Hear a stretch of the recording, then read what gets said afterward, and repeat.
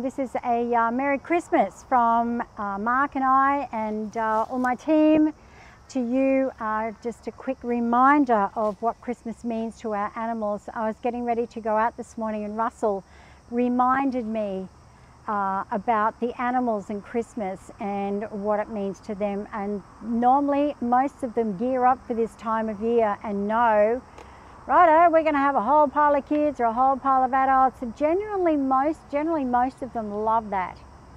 But then you have to be reminded, well, don't have to be, but I need to remind you to take into consideration when you do have the animals that are nervous. And uh, most cats are pretty tolerant. But if they're anything like mine, they're not really in favor of having people. Russell said to me this morning, which is my ginger cat, he said, is the people coming this year, Mum? I said, yes, there probably is. Ah, okay.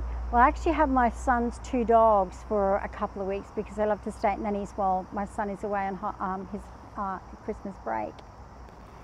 Please be reminded to keep food, especially chocolates, uh, away from the animals uh, and children.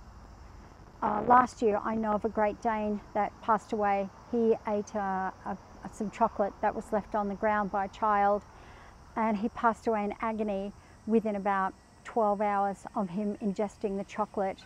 Now, this, uh, it's very hot where I am, apologies for that. So, again, this year I'll be taking my son's dogs, and that was one thing that Russell was going to ask about. And uh, we had a little bit of a moment, Russell and I, this morning. He's like, hell no!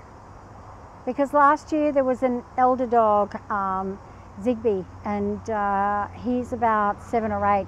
This year we have a seven month old blue heeler puppy. So that's going to be pretty interesting for Russell. Sage will be fine because she just normally stays in the bedroom. Um, but uh, I've got the two dogs this Christmas. Now, what I was mentioning before is always put your animals first. And I don't mean this to be in a, a nasty way, but this is their home and, uh, and, and they want, the, generally most of them that come through at Christmas time, because people like to have a connection with me, 15 minute connection, Christmas, people are coming, letting you know, etc., etc., and how are you going to deal with it, especially if it's a new animal that's come into the family. Most of the dogs love it, but if you have an, an anxious and, an, and a very anxiety, dog with anxiety or even an anxious cat, please put them away in a quiet place. Now I don't, I'm not saying that you don't have the common sense to not to do that. Um, some people, if they're having people coming, they actually send their pets to a friend's place or they send them to a, a cattery or a, a, a kennel or something like that. So please be aware of the, the, um, the heat around the house, the noise, the food, the people. Please take into consideration, uh, especially the noises. Um, some dogs are, most animals are pretty much okay with this, but of all of those that I have just mentioned uh, about the, the festivals, festive celebrations, um, the next thing is, is going away and uh, that's a very hard one because sometimes we have to go away for Christmas or for the day. Please make sure that your animal has plenty of water and put spare ones out. Last year, a, a dog had actually knocked its bowl over and it had no water all day.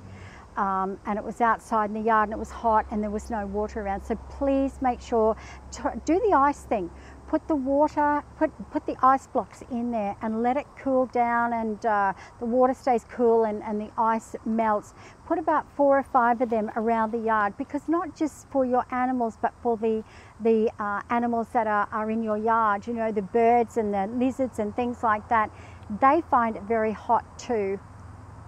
Um, last year I had a communication with a bird that had um, away from heat stroke. So please remember to make sure your animals have plenty of water and cool water.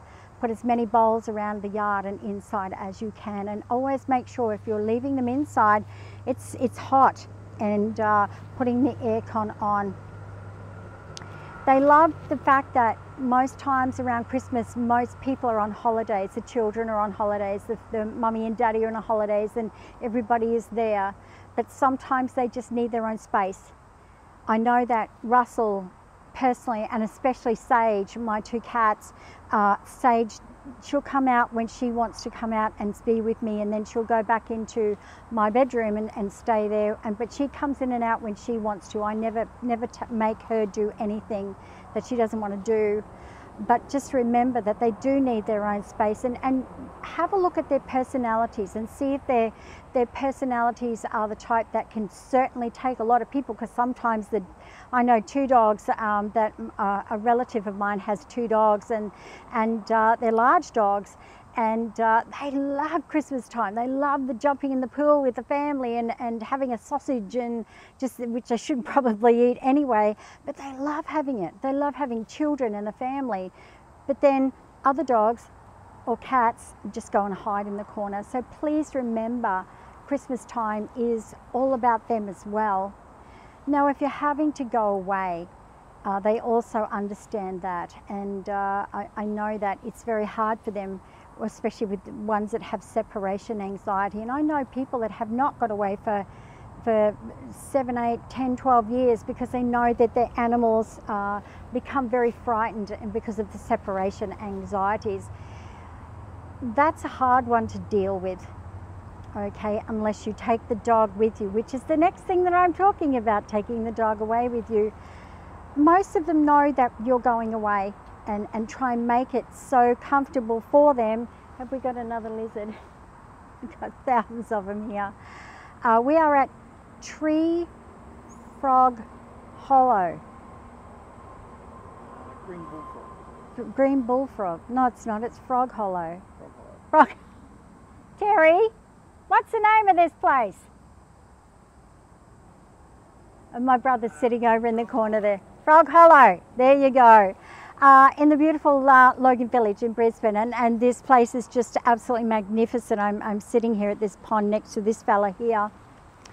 Um, I'd just like to promote Frog Hollow. Anyway, getting back to what I was saying before, um, uh, having to leave your animals. Uh, some of them absolutely love going to the kennels, like, oh, we had so much fun. I got this, made They're all these new friends, and we had an absolute ball. Others do not appreciate the uh, fact that you are away and uh, become very dirty at you.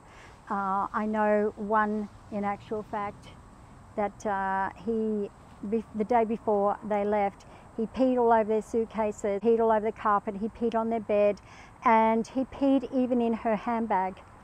So, true story, this cat went around and just overnight peed the day before he was supposed to go to a kennel, he peed over everything. So they know Russell, when I go away, usually drops a Nanky toy into my suitcase. True story. He, I had this Nanky half-eaten fish toy. He put it into my suitcase. He thought that was hilarious. I thought it was really cute when I got there. I'm like, what the hell is it? Oh, Russell. steals a shoe. Ah, Russ. Romy, Romy stole a shoe from me one day. I was going away. I went to go on stage and I found one shoe. I rang my flatmate and I said, do you know if there's another one? And she picked up this Nanky chewed up shoe and she goes, is this the one you're looking for? Robbie had stolen a shoe out of my bag because he knew I was going away. Uh, he chewed it up and put it right in the corner of my uh, walk-in robe. Uh, so my flatmate at the time, lady that was staying with me, she found it. So they do, they will attack. Have no doubt about that. They hide everything because they will come in and they will trash everything. Suitcases, handbags, shoes, even cameras, watches, phones. You leave it lying around, it is fair game. So Mark's in the background laughing there. So that's what happens when you have to leave them. Generally, if you have to leave them at home, in their own home, I would suggest this if they're having separation anxieties. If you can leave them at home, this is where they're most happiest. But if you know that they really do enjoy being at the kennels or something, take them there. The next thing is taking them with you. Oh, car ride, woohoo! Romy, as soon as he knew that uh, I picked up his beach bag, he went berserk. He would jump straight into the back of the car, even if I was ready or not. He would sit there and just wait. He'd sit there.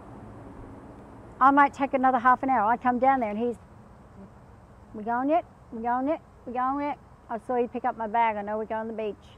You're not getting out of this one.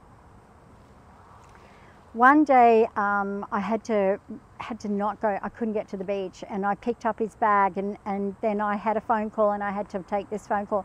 I tried to get him out of the back seat of my car because um, he was already in it, and he growled at me.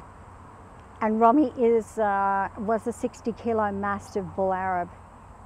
He growled at me. He gave me this, and I just went, "No, mate, that's not happening." You have to get out. And I had, I'm, I'm 60 kilo ring and wet. He's the same weight as me. So you can imagine me trying to get him out of the back of the car. I was not going to let him win. Okay, so the same rules apply over the Christmas holidays. When you have to take them for a car ride, remember that they need water, they need a pee stop, they need to sniff the ground and see who's been there last, and they need to know and, and a lot of times they'll be quite protective of uh, what we're doing over the Christmas holidays, who's there and, and where they're going to. So um, generally they know, it's like, okay, we're going to Auntie Sam's place. Oh, that's really cool. She's got a pool and two other dogs. Remember that if there are other animals there, you have to introduce them, of course. Okay?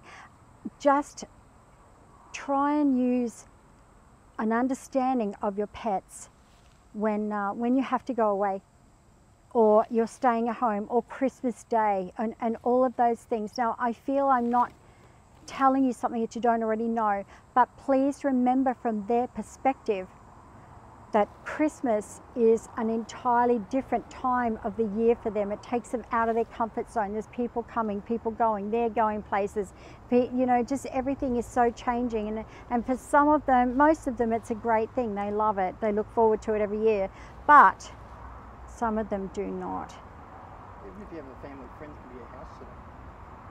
Yeah, um, house sitting is a, a, wonderful thing, but you need to introduce them to that house sitter first. Don't just go lopping that house sitter up and they're like, who the hell are you? What are you doing here? Again, this happened uh, some time ago, and not to one person, but to several people, different people. This person locked up on the doorstep and uh, house set for a week. The first two days, these little uh, Pomeranians, they just run amok. And they peed all over the place and peed all over her bed and peed all over the floor. And they just did, they, they're like, well, in retaliation, where are my mummy and daddy? Let them see what's going on. Let them see the festivities. Let them see you packing the bags. Let them see, and if they're coming with you, pack a bag for them so they can see that their bag is being packed as well. Remember the treats. Please don't let Auntie Georgia feed the little dog ice cream. Not a good thing. Or the kids feed cheese and so forth. This is when most of the time animals end up in at the vets or they've gotten out and they've been frightened of something and they've run away and been hit by a car. These are the tragedies but realities. So I'm not trying to stir up trouble here and and, and try and make you feel bad. I hope that you have a fantastic Christmas. Yep, I'm getting to that. I hadn't forgotten.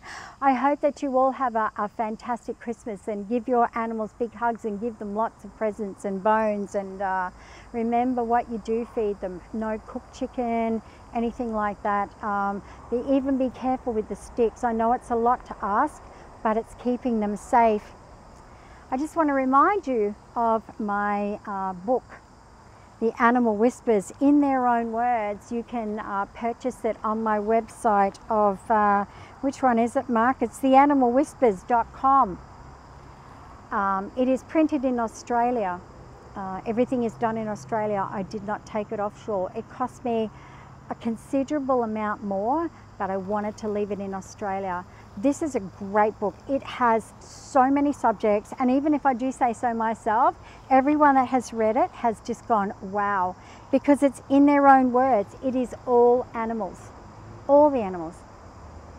And what happens when our animals pass, and what happens if we inherit animals, and what happens if we get a new animal and our old animal's still there or has passed over. It also talks about lions and tigers and giraffes and, and gorillas and all of those things. I hope that you have a fantastic Christmas. This thing's making me itch, so I'm going to take it off. oh, dearie me. Have a Merry Christmas, everyone. Give your animals a big hug from me. And uh, we will um, certainly keep rolling this, uh, this TV show. We've had a lot of huge responses to it, but please remember about Christmas time and please give your animals big hugs. Remember that they know what is going on. They are well aware of what is happening. And they're sneaky at this time of year. They will steal little Johnny's toy and chew it up in the corner. Trust me. And then have to go to the hospital because they've ingested uh, some plastics. They're quick. Have a beautiful Christmas, everyone, and uh, bye bye from Mark and I. Thanks for watching. Bye.